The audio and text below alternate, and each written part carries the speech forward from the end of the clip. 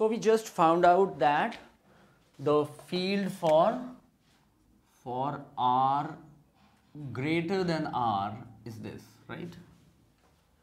Is this. Now we come to the field inside the shell.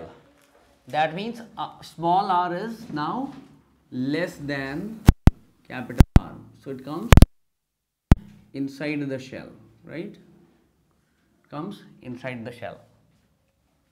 Okay. Now, by the same logic, the field, the field,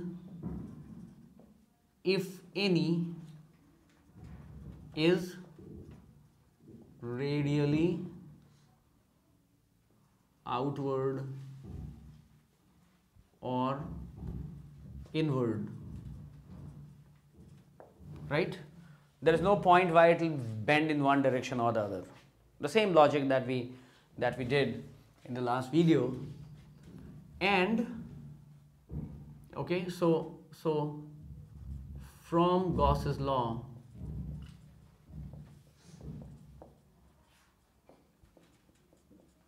E dot ds is equal to q enclosed upon epsilon naught. And what is the q enclosed?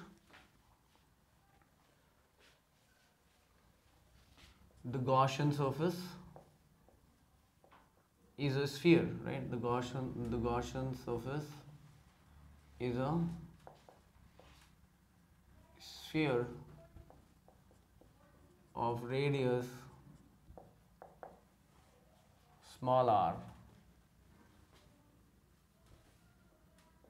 less than capital R.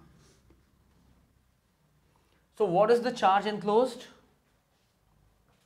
By the Gaussian surface. Hmm? Charge that is enclosed.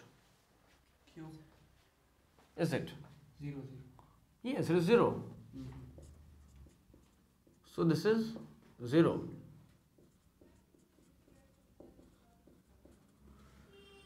Now you see, this can happen in, in two cases.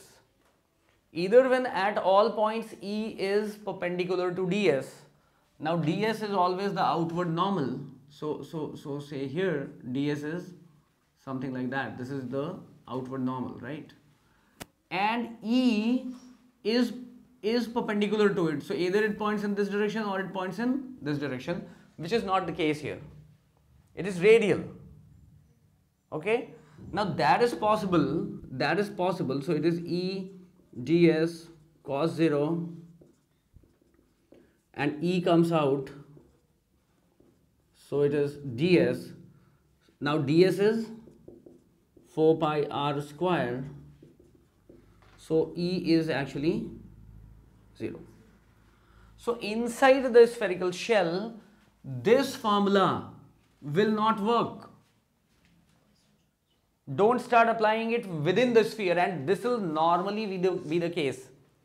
Okay, since we have kept this in our mind, so this is valid only for outside the shell. Inside the shell, it is 0. So E is equal to 0 for R is less than, for R less than R. Okay.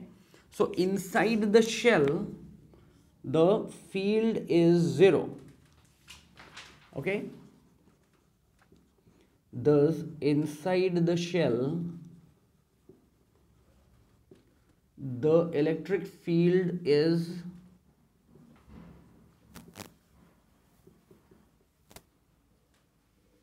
zero. Okay?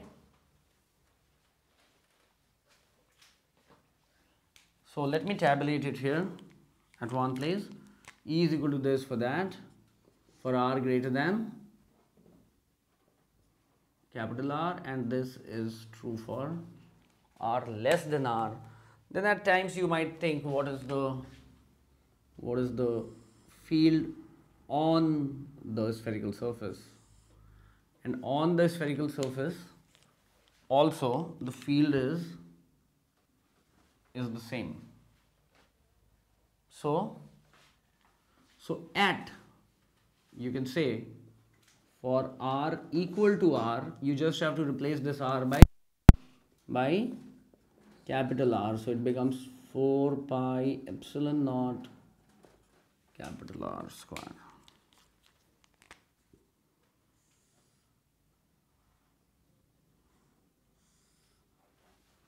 Get it?